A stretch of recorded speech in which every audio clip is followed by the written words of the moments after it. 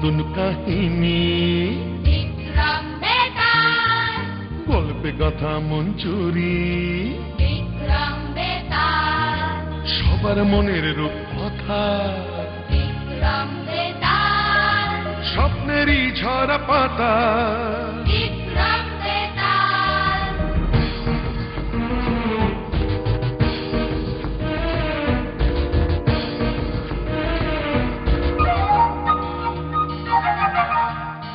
জীবনের মোড়কে গল্প হাজার।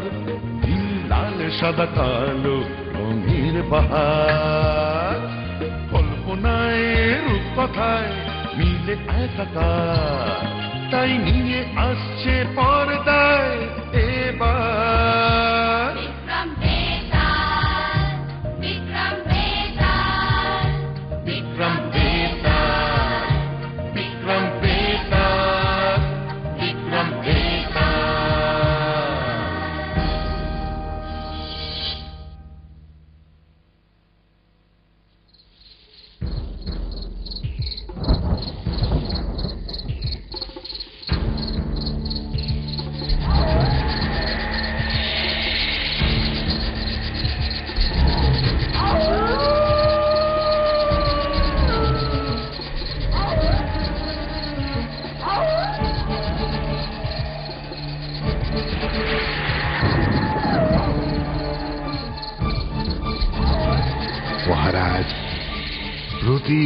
তো তুমি কথা বলে ফেলেছ।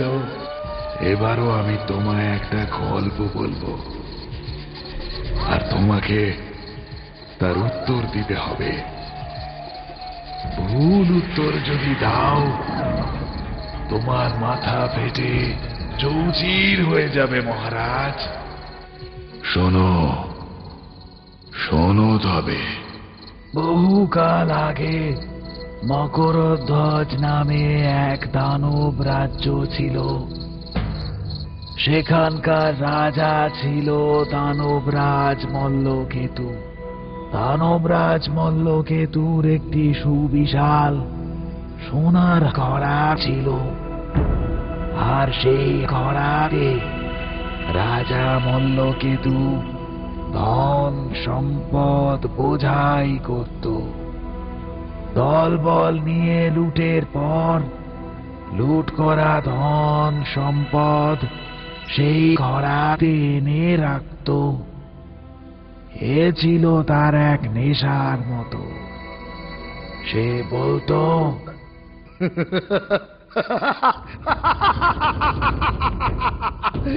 ওই সোনার ঘোড়া যতদিন না ভর্তি করতে পারছি ততদিন শান্তি পাবো না। তাই আরও আরও সম্পদ চাই। কিন্তু মহারাজ সারা দুনিয়ার প্রায় অর্ধেক সম্পদই আমরা লুট করে এনে রেখেছি। কিন্তু তাতেও তো অর্ধেকও ভর্তি হলো না। এত সম্পদ কি পৃথিবীতে আছে মহারাজ? তবে তোমাদের রেখেছি কিসের জন্য? খোঁজ করো খোঁজ করো।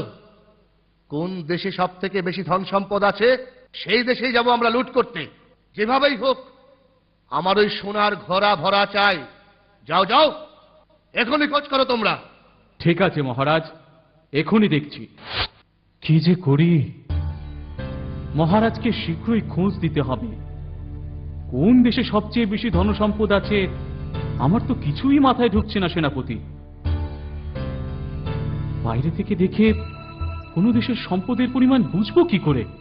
একটা উপায় আছে। আপনি বরং সমস্ত দেশে গুপ্তচর পাঠান। হ্যাঁ? কি বলছো? গুপ্তচর পাঠাবো? হ্যাঁ ওই গুপ্তচররাই সঠিক খোঁজ নিয়ে আসবে কোন দেশে কত সম্পদ আছে আর তারপর বিচার করে দেখবে। যে দেশে সবচেয়ে বেশি সম্পদ আছে সে দেশই দলবল নিয়ে আক্রমণ করব আমরা হ্যাঁ?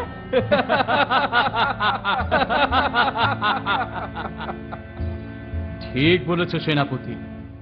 ঠিক বলেছ। আমি কালই সমস্ত দেশে গুপ্তচর পাঠাবো। তারপর মন্ত্রী সেনাপতির সঙ্গে পরামর্শ করে পরদিনই গুপ্তচর পাঠালো সমস্ত দেশে।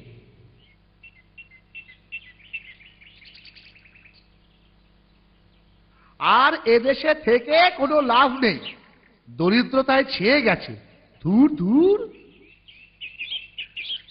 সত্যি দুবেলা আহার জুটছে না ঠিক মতো এভাবে কি আর থাকা যায়?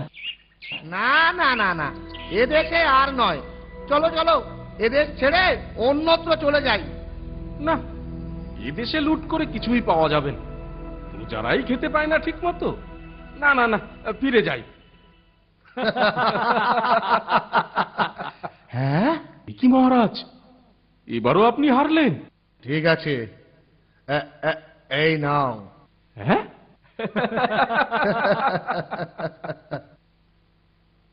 মহারাজ এভাবে ধন সম্পদ জুয়া খেলে ওড়াবেন না। থামুন মহামন্ত্রী যতক্ষণ না জিততে পারব ততক্ষণ আমি খেলব। এই শুরু করো সেনাপতি। মহারাজ আমার কথা শুনুন। এভাবে অর্থ ব্যয় করলে রাজকোট শূন্য হয়ে যাবে একদিন। হয়ে যাক। আমি না জিতে খেলা বন্ধ করব না। হ্যাঁ? হ্যাঁ?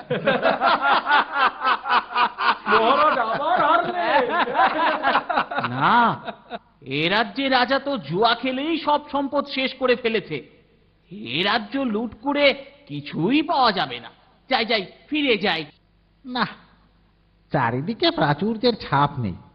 একেবারেই সাধারণ। মনে তো হয় না এ রাজ্যে তেমন কিছু সম্পদ আছে বলে। সত্যি? মহারাজের তারিফ করতেই হয়। যা বলেছ ভায়া উপরে কোনো চাকচিক্য নেই। যত সম্পদ সব গচ্ছিত করে রেখেছেন ভবিষ্যতে অসময়ে যাতে কাজে আসে। সেজন্যই না সেবার ওই বন্যায় যখন জমি জমা ঘর বাড়ি সব ভেসে গেল তখন আমরা নিশ্চিন্তে দুবেলা দুমুঠো খেতে পেলাম। নয়তো কি বিপদেই না পড়তাম বলো? হ্যাঁ তা যা বলেছিস। আচ্ছা মহারাজ এত সঞ্চিত সম্পদ কোথায় রাখেন বলো তো? উমা তুই এটাও জানিস না? রাজ্যের উত্তরে পাহাড়ের নিচে যে জঙ্গল আছে সেইখানে মাটির নিচে সে সব সম্পদ গচ্ছিত আছে। হ্যাঁ আমি শুনেছি সেখানে নাকি মাটির নিচে সোনার শহর আছে। সোনার বাড়ি সোনার রাস্তাঘাট। আরও শুনেছি মণি মুক্ত নাকি পথের ধারে নুড়ি পাথরের মতো ঘোরাঘুরি যায়। আমি তো শুনেছি ওই সোনার শহরে এত সম্পদ আছে যা দিয়ে একটা গোটা রাজ্যকে ঢেকে ফেলা যায়। তাই নাকি? আচ্ছা এই ব্যাপার।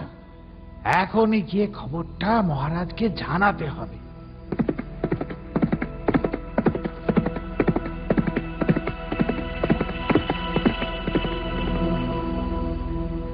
মহারাজ মহারাজ? এসো এসো মহামন্ত্রী। কি কোনো সন্ধান পেলে কোন দেশে সব থেকে বেশি ধন সম্পদ আছে? হ্যাঁ মহারাজ। কনকপুর রাজ্যের উত্তর সীমান্তের মাটির নিচে সম্পদ আছে। এত সম্পদ আছে যা দিয়ে নাকি একটা গোটা রাজ্যকে ঢেকে ফেলা যায়। তাই নাকি? এতদিনে সে সময় এসেছে। এবার আমার আশা পূর্ণ হবে। এবার আমার সোনার ঘোড়া সম্পদে পূর্ণ হবে।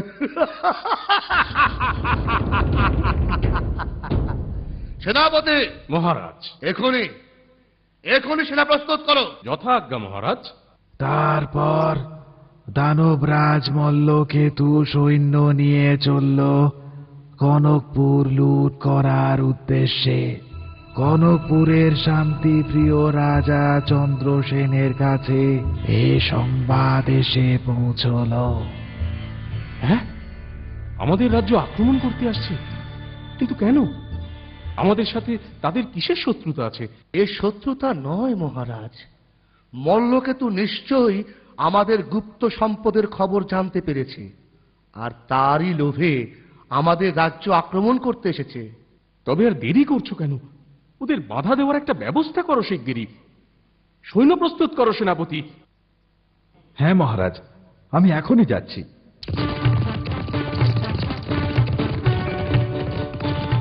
মহারাজ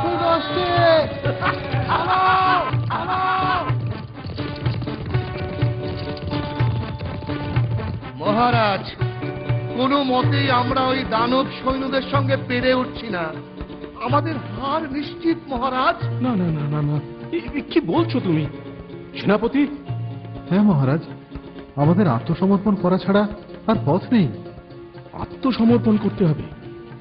না না না না। এর চেয়ে এর চেয়ে প্রাণ দেওয়া ভালো। আত্মসমর্পণ কিছুতেই নয়।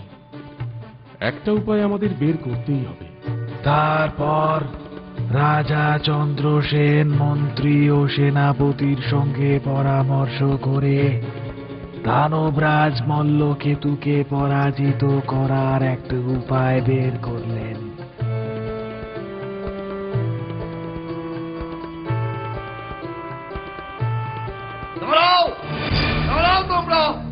দানবরাজ আমি আত্মসমর্পণ করছি। এত সহজেই হার মানলে মহারাজ এত ভয় পেয়ে গেলে আমার শক্তিকে হ্যাঁ আমি হার মানছি। বলো তোমার কি চাই? আমার আমার ওই সোনার শহরটা চাই। তার সমস্ত সম্পদ আমার চাই। যা আমি আমার সোনার হরাতে নিয়ে গিয়ে রেখে আমার সোনার হরা কানায় কানায় পূর্ণ করব। ঠিক আছে। আমি সমস্ত সম্পদই তোমায় দেব। কিন্তু একটা শর্তে। কি শর্ত? শর্ত এই যে এ সম্পদের সমস্তটাই তোমায় একেবারে নিয়ে যেতে হবে এবং নিজেকে এসে সকলের সাথে দুবার বা তিনবারে নিয়ে গেলে চলবে না। এই কথা। ঠিক আছে। সৈন্যরা তোমরা আমার সঙ্গে এসো। আমরা ওই সোনার শহর থেকে সমস্ত সম্পদ নিয়ে দেশে ফিরবো।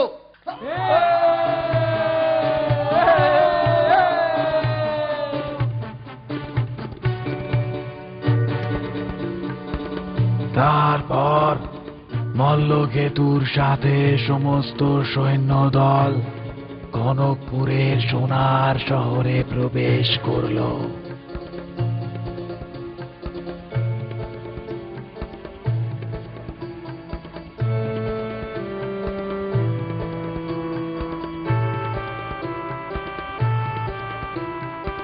সেনাপতি। দ্রুত দ্রুত দেরি করো না। হ্যাঁ মহারাজ। কত সোনা কত মণিমুক্ত আয় সব নিয়ে চল। একটা কিছু যেন পড়ে না থাকে।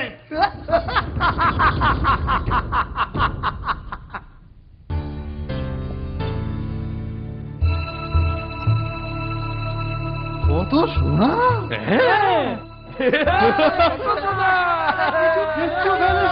নিয়ে চল নিয়ে চল যত পারিস ইচ্ছে মতন নিয়ে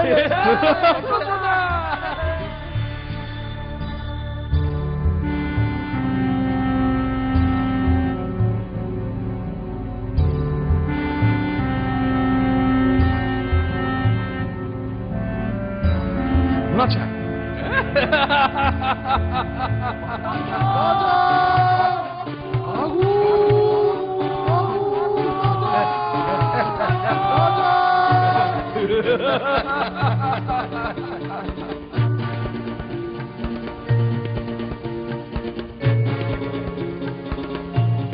মহারাজ চন্দ্রসেন আমায় ক্ষমা করুন আমি ক্ষমা প্রার্থী।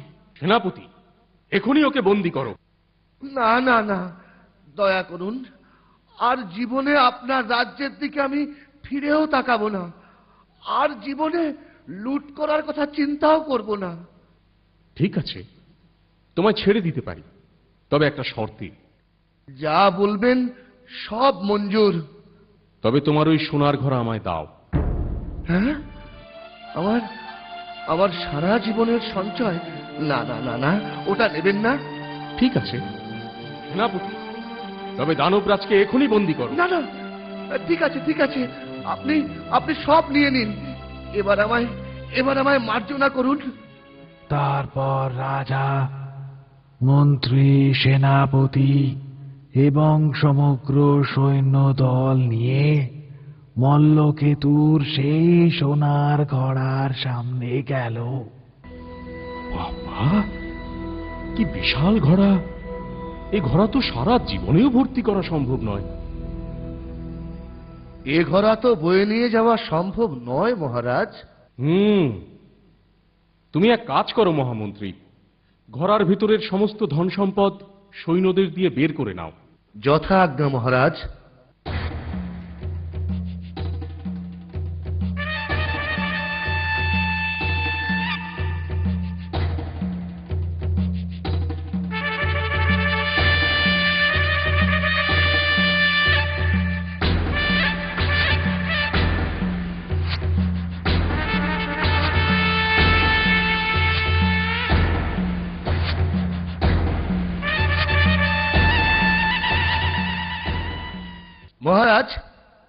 ঘোড়া থেকে সমস্ত সম্পদ বের করে নিয়েছি আমরা।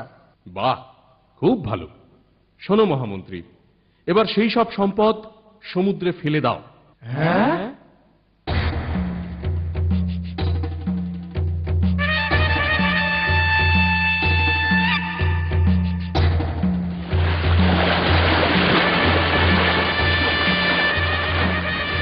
মহারাজ সমস্ত সম্পদ সমুদ্রে ফেলে দিয়েছি।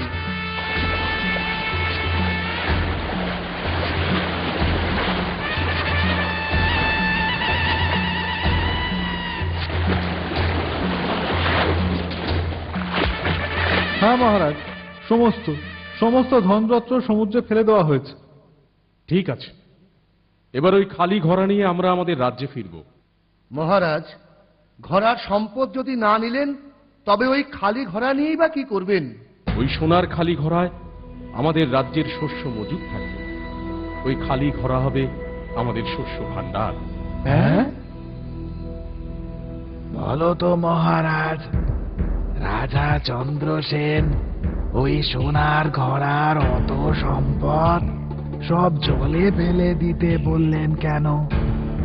আর ওই খালি ঘোড়ায় কেনই বা শস্য মজুত করার সিদ্ধান্ত নিলেন?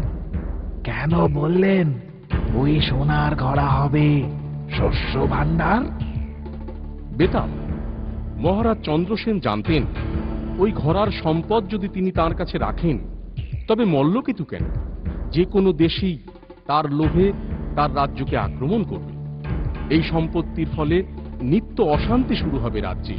যে ধন সম্পদ দেশে শান্তি এনে দিতে পারে না, প্রজাদের মনে শান্তি আনতে পারে না, তার কি প্রয়োজন? তাই তিনি সমস্ত সম্পদ সমুদ্রে ফেলে দিতে আদেশ দেন। আর তারপর সোনার ওই খালি ঘোড়াটি রাজ্যে নিয়ে যেতে বললেন, তাতে সমস্ত রাজ্যের শস্য মজুত করবেন বলে। মহারাজ জানতেন, আসল সম্পদ হল জমিতে ফলা সোনার ফসল, যা দেশবাসীর দুবেলা আহার জোটাবে, পেট ভরাবে। তাই সেই ফসলই আসল সম্পদ। আর সেই সম্পদের যথার্থ মর্যাদা দিতেই তিনি সোনার ঘোড়াকে শস্য ভাণ্ডার করার কথা ঘোষণা করেন।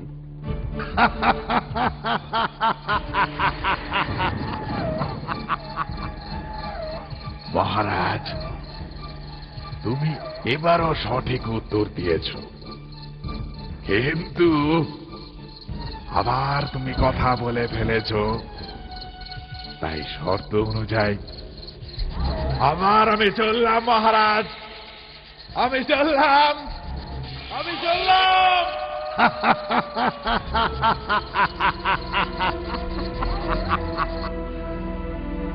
বেতাল বেতাল যেও না। যেও না বেতাল দাঁড়াও দাঁড়াও আমি আসছি। বেতাল বেতাল তুমি